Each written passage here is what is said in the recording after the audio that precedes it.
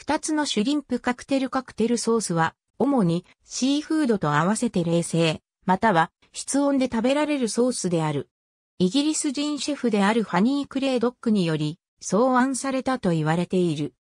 シュリンプカクテルシュリンプカクテルカクテルソースが最初に使われたシュリンプカクテルは、もともとカクテルグラスの円にエビを引っ掛けて提供される料理である。この料理が名前の由来となった。アメリカ合衆国では、ケチャップを加熱したホースラディッシュと混ぜたものが基本である。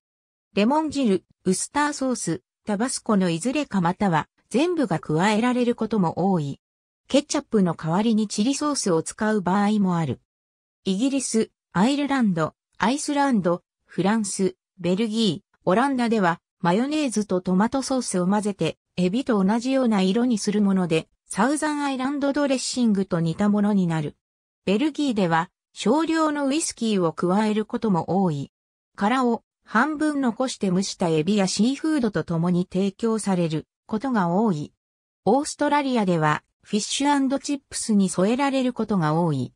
アメリカ合衆国のオイスターバーでは生の牡蠣に添えられ、客は自分で混ぜて食べる。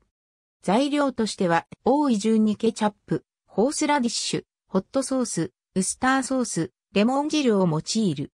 牡蠣の皿の中央にスフレカップを乗せ、カクテルフォークとレモンスライスが添えられる。ありがとうございます。